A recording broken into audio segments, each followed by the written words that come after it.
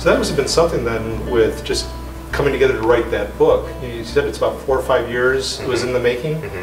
Um, I'm assuming that was just really helpful to come to articulate some of these things and process them. And no doubt we'll have a chance to talk a little bit more about what was the aha or what were the ahas. And even now, as we'll come to it later, what are you finding when people interact with you? Like, whoa, this takes us even to a deeper dimensions of engaging this subject.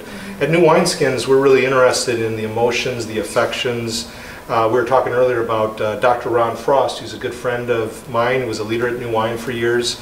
And I, I think you've had connections with uh, Ron.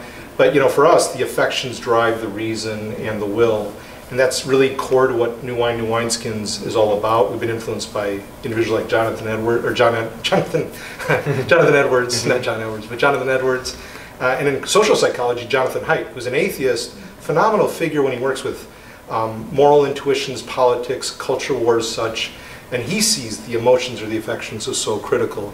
But dealing with the subject of uh, the emotions, you had mentioned EQ. In our society, so often we put the focus on IQ. And there's a place for it. IQ is really important. But maybe you would say that as important as it is, maybe we overvalue IQ and undervalue EQ. Uh, EQ, emotional intelligence. Could you speak to that uh, briefly about the import of EQ to even Yes. out? They can't be separated, as Jon said. Yeah. Can't Yeah. not separate. Emotional intelligence really um, became popular because of Daniel Goleman. He Hmm. wrote a book on Mhm. emotional intelligence and popularized the term, which is really helpful. Um, but I think that uh, he, would, he would show in his book that emotional intelligence is actually more important than IQ because it helps you to manage your feelings in a productive way. And when you manage those feelings in a productive way, it can help your relationships and your relationships in your career, and all of those things end up um, helping you to uh, just be a more productive person in society.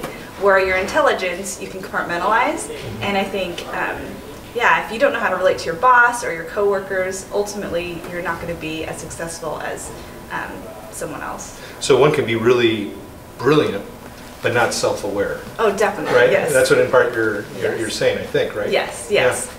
Yeah. How about, how about you, Jon? Yeah, yeah. For me, it was all about um, knowing things and making informed decisions in life, and I, I've been obsessed with that. Um, what's what's the wise way to live? What's the right next thing to do?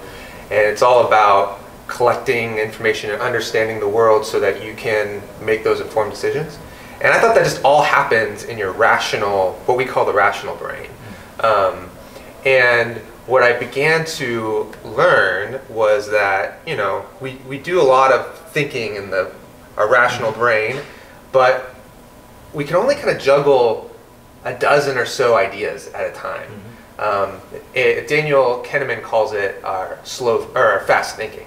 Um, I'm sorry, our slow thinking because you can't do much with it. it. It takes a while to reason through a concept. And what I began to realize about emotions was that emotions are a different type of information that our body takes in. And our body could actually process just millions of bits of information at any time. Now, we don't have access to that directly, rationally, um, but we have access to all that through our emotions, through our affections, how our body's responding. And um, suddenly, to me, it just was like, well, if my body's giving me all this rich information, I need to value that. Mhm. And that is going to help me live a wise life, an informed life. So, emotional intelligence to me is that practice of paying attention to the information our body's giving us. Yeah, excellent and fascinating just how you talk about